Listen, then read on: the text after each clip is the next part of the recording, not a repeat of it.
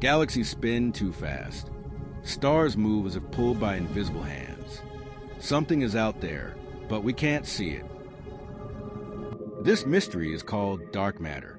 It doesn't glow, it doesn't absorb light, but it makes up 85% of all matter in the universe. Two leading candidates are axions and WIMPs, strange names for stranger particles.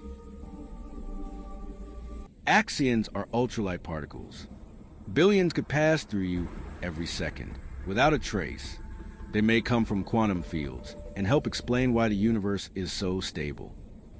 WIMPs, short for weakly interacting massive particles, are heavier.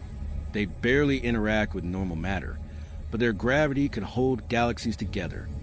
Scientists search for them deep underground, in quiet labs shielded from noise. They also scan the sky for signs of particle collisions or gamma ray bursts.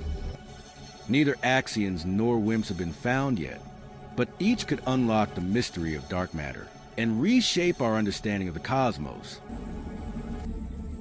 Dark matter is silent, but its candidates, axions and WIMPs, may be whispering the secrets of the universe.